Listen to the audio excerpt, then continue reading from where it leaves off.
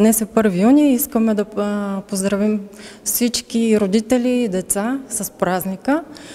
Както в повечето години, на този ден всъщност откриваме работилница за въображение и за втори път всъщност изнасяме презентацията на Антуан Сен Екзюпери за малкия принц.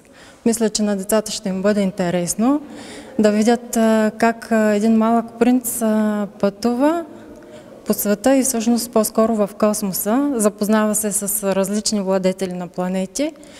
И така те ще обогатят общата си култура и ще направят нещо мъничко, един малък сувенир в къщи, който могат, могат да донесат в дома и да зарадват родителите си.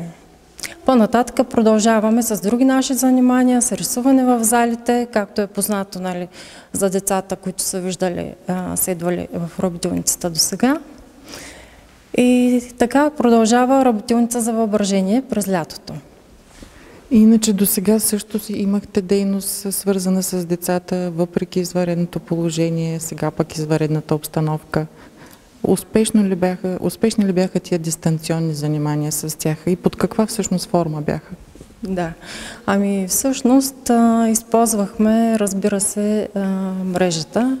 В а, Фейсбук мрежата правихме нашите публикации, запознавахме децата с а, различни художници, а, чието картини притежава художествена галерия Добрич. А, запознахме ги с биографията им а, също така.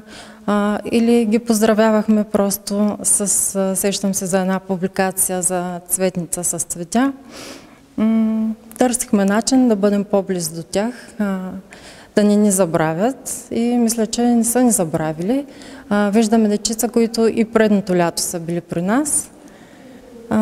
И така стараехме се да бъдем по-близо до децата и до родителите също Строги така. са а, мерките. Най-много 10 деца ще могат да бъдат в група. С колежката ще водим по-отделно заниманията, когато се налага, когато са повече от 10. А, едната ще бъде в една зала, другата ще бъде в друга зала. Заниманията ще са различни. А, децата ще бъдат на отстояние, ще имат маски, както и ние всъщност ще използваме ето шлемовете. Ще бъдат взети всички предпазни мерки. Да, както в а, всяка една институция има дезинфектанти и така. Продължаваме работа. Честит празник, представи се. Аз съм Йоана. На колко години си Йоана? На 9.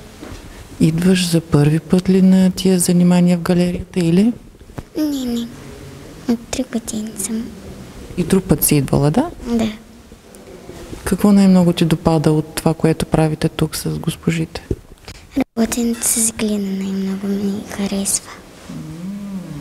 Бъдеш скулптор? М- така си мисля. Аз съм Анна Веселина Магичева. Аз съм на 9 години и съм от училище Христо Ботев. Идваш за първи път ли на тия занимания в галерията или? Не, идвала съм много преди това. Любимите ми цветове са черни и розово.